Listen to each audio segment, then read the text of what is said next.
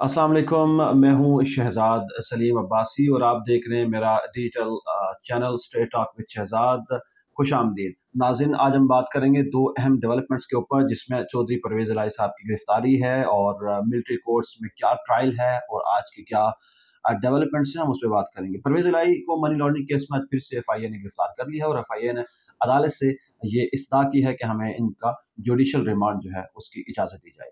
खबर यह है कि इनके फ्रंट में जो कि परवेज लाई साहब की मुबैना जो बीवी है सारा अनवर के साथ मुबैन तौर पर करोड़ों रुपए के लेन देन में शामिल थे और उनको भी गिरफ़्तार कर लिया गया। परवेज लाई कब से गिरफ़्तार रहे हैं और एक एक केस इन पर बनाया जा रहा है इनको फंसाने के लिए उनकी जमानत मुमकिन नहीं हो पा रही।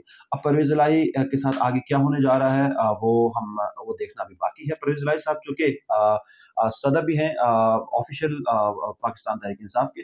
और अभी तक इमरान खान के साहब की तरफ़ से और उनके जो फॉलोअर्स हैं, उनकी तरफ़ से परवेज लाई साहब के हवाले से कोई ऐसी चीज़ सामने आई नहीं है। लेकिन चूँकि परवेज लाई साहब जो है वो अभी तक काफ़ी दबंग अंदाज में सामने आए हैं और वो बार बार ये कह रहे हैं कि हम इमरान खान साहब के साथ खड़े हैं। और इमरान खान साहब के साथ खड़े हैं वो क्या चाह रहे हैं? इमरान खान साहब उनसे क्या चाह रहे हैं? और उनके जो फॉलोअर्स क्या चाह रहे हैं और सबसे बड़ी बात यह कि इस्टेब्लिशमेंट उनसे क्या चाह रही है, ये देखना भी बाकी है। हो सकता है इस्टेब्लिशमेंट ये चाह रही हो कि जो परवेज लाई साहब हैं, वो किसी तरह से इमरान खान से टूटें और वो इस्तेकाम पाकिस्तान पार्टी की तरह एक नई पार्टी बना लें या कि, या फिर काफलिक में शामिल हो जाएँ बट इतना ज़रूर है कि वो इमरान खान से अलग हो जाए। नाजिन आज की दूसरी अहम डेवलपमेंट मिलिट्री कोर्ट्स के हवाले से है। मिलिट्री कोर्ट्स ट्रायल केस के हवाले से अदालत अभी तक किसी मंतकी या हतमी नतीजे पर नहीं पहुँची है। पहले नौ रुकनी जो बेंच है वो टूटा, फिर सात रुकनी बेंच टूटा और आज जो सात रुकनी बेंच है वो टूटा और छह रुकनी बेंच है वो भी टूट गया। और छह रुकनी बेंच के बाद पाँच लोग अब बचे हैं। लतीफ़ खोसा इतसाफ अहसन और सलमान राजा क्या चाहते हैं, ये समझ से बाल आता है मगर जो ज़ोर लगा रहे हैं, इसका कोई हासिल हसूल नहीं है। सब लोग मिल भी जाएँ। अब देखिए बड़े बड़े टॉप के जो वकला हैं, वो अलग हैं।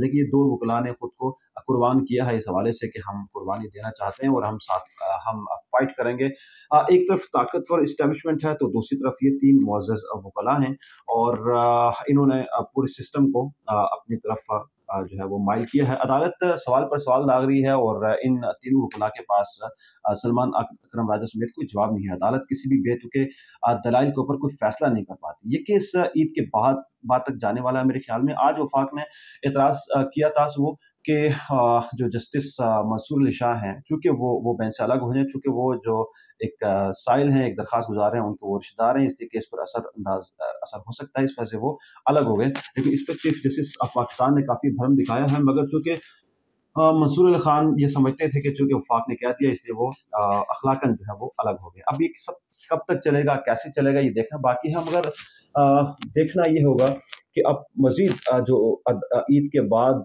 या कल में या परसों में कब मज़ीद एक दो लोग इस बेंच से टूटते हैं और बेंच को मज़ीद कमज़ोर करते हैं। क्या क्रेडिबिलिटी रह जाएगी इस बेंच की? जब तक ये बेंच में तीन लोग रह जाएँगे। अदालत हमेशा शवायद को देखती है, शहादतों को देखती है, लेकिन अब तक जो आपके चीफ जैसे पाकिस्तान है और जो आपकी अदलिया है, आला अदलिया, वो कह रही है कि जो केस बनाया गया है, इसमें कोई शहादत नहीं है। और वो कह रहे हैं कि चूँकि सानिया नो में जो है, वो इतना ऐसा एक फ्लैशिंग केस था कि इस केस को दबाना आसान नहीं है। पूरा एक मीडिया एक ट्रायल बन गया हुआ है, पूरी स्टैब्लिशमेंट है, पूरी स्टेट एक तरफ़ है और एक तरफ़ जस्ट ये बात कह देना कि मिलिट्री कोर्ट्स के अंदर ये ट्रायल ना किया जाए, ये नाकाफ़ी है। कुछ शवायद लेके आए, कुछ बुनियाद लेके आए, कुछ बेस लेके आए, तब बात बनेगी। और बाकी इसमें क्या डेवलपमेंट्स होती हैं, इस हवाले से आपको अपडेट करते रहेंगे। तब तक इजाज़त, अल्लाह के बाद